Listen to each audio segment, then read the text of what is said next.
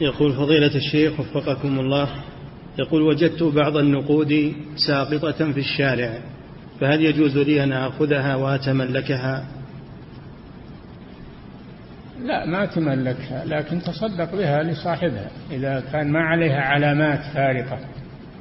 ما عليها علامات فارقة وصاحبها ما هو قريب ولا ترجو أنه يجي فأنت تصدق بها على نية أن الأجر لصاحبها. نعم